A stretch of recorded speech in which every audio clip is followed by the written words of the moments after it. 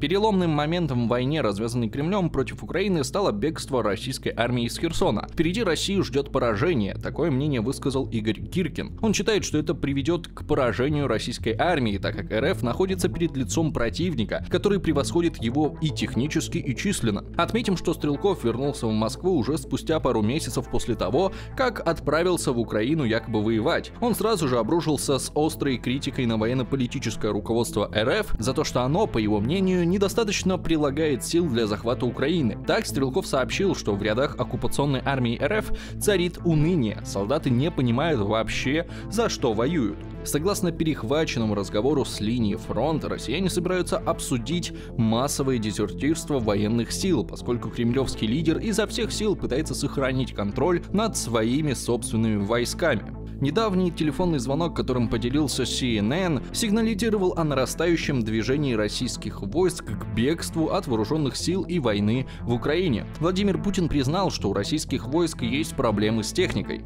Плохо экипированные российские солдаты уже страдают от низкого морального духа, сталкиваются с изнурительной и морозной зимой в Украине, когда температура опускается ниже нуля. Путин пообещал продолжать наносить удары по украинской энергетической инфраструктуре, несмотря на критику, что эта тактика оставила миллионы людей без электричества и воды в начале зимы. Военные эксперты предполагают, что российская тактика нанесения ударов по инфраструктуре Украины скорее всего рассчитана на деморализацию и запугивание населения. Украина видит снег и минусовые температуры во многих регионах, что вызывает опасения, что забастовки могут привести к неудобствам людей от переохлаждения. Российский лидер также предупредил, что война в Украине может быть долгим процессом. Путинское вторжение в Украину оставило после себя разрушительный след. Российский президент направил несколько несколько ядерных угроз в адрес Запада, поскольку напряженность во всем мире растет. Эксперт по внешней политике считает, что Россия знает, что идет к сокрушительному поражению в войне с Украиной. Но он предупредил, что даже когда Путин действительно уйдет с поста президента, его наследие может продолжаться, и мир столкнется с перспективой агрессивной России на многие годы вперед.